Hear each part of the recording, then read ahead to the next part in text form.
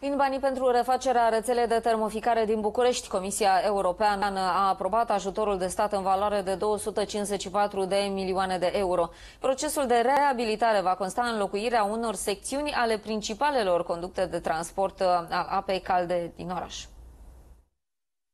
Sistemul de termoficare din București este cel mai mare din Uniunea Europeană și al doilea din lume. Acesta ar trebui să deservească 1,2 milioane de locuitori, prin circa 940 de kilometri de conducte termice pentru sistemul de transport și 2800 de kilometri de conducte pentru sistemul de distribuție. Rețeaua nu a mai fost reabilitată însă de ani de zile, iar în această iarnă a cedat în numeroase cartiere. Procesul de înlocuire a țevilor a început, însă se anunță unul de lungă durată. Primii pași au fost făcuți în această lună. Edirul Nicu Șordan a anunțat deschiderea lucrărilor de reabilitare pe mai multe tronsoane.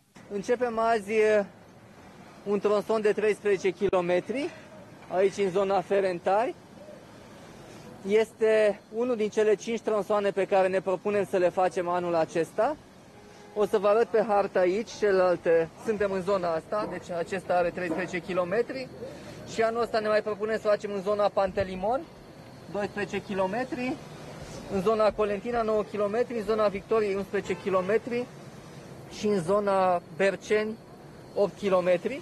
România a prezentat Comisiei planul de a acorda un ajutor public în valoare de aproximativ 254 de milioane de euro. Sprijinul va fi acordat sub forma unui grant direct finanțat din fondurile structurale ale Uniunii Europene gestionate de România.